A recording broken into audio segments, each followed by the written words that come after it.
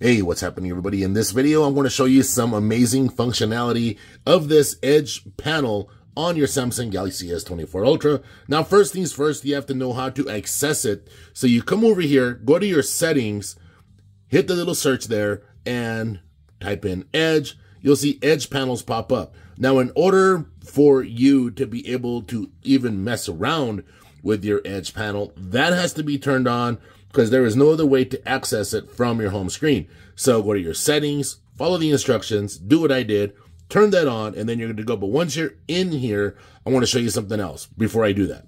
So we're going to come over here. Now you see I have that edge bar right there. So say you already have it activated. If you want to go to your edge bar settings, you're going to see that little settings wheel right there that just disappeared. Okay, pull it out again. settings, there you go. Now it takes you to there. Also, if you want to go back to the main settings, tap up there on that arrow and it'll take you right there. All right, so let's jump into some of this as well. All right, so panels. You see that there it says panels apps. You can actually include other things in here besides the app. So I'm using it just for apps. That's my preferred way of using the Edge panel. But you can include your contacts, some smart select features. Now, if you want to be like Mr. Productivity, Mr. and Miss Productivity, you can, uh, yeah, turn it into a product activity edge bar. But I feel like I'll, in a minute here, I want to show you why I feel that my edge bar is really productivity productive. All right. Also, so you have all these options. Also, if you tap on here, it'll take you directly to the Galaxy store and it'll show you the ton and a ton of different things that you can implement with the edge bar to make it more to your liking. And that's what's awesome about Samsung Galaxy devices. They really make it, they really give you the opportunity to make it completely yours. So let's come back over here. Let's come back to this. All right. So next, the handle. That's that little thing right there that you can see, right? I have mine set on the thinnest, but if you make it bigger, it makes it easier for you to grab and open, right? But I keep mine on thin. That way, whenever I'm watching videos or whatever I'm looking at, I don't have this thing protruding, kind of sticking out on whatever it is, right?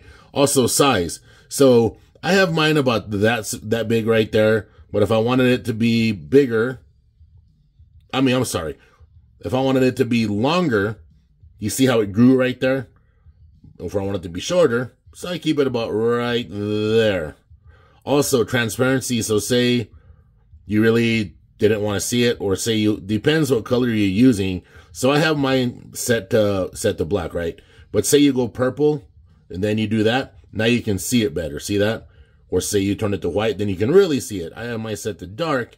That way it's not so, you know, that way it's not so visible, right? So just leave it right there. But I say if I was to use a color, I'd be able to see that. So anyway, so that's that with that. So then we'll, oh, and then you have the position.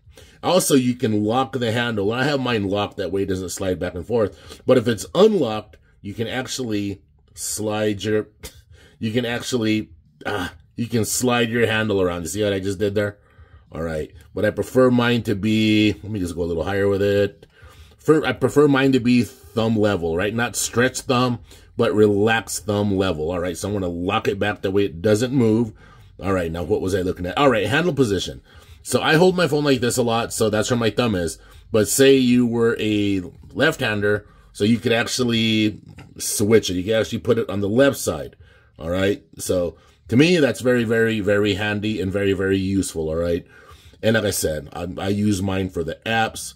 And there you go. All right, everybody. Well, hopefully uh, you mess around with your phone a little bit and get to play with it and customize it and make it your own. If you guys have any special requests, hit me up in the uh, comment section, and uh, I'll make a special request video for you. All right, you don't, y'all take care.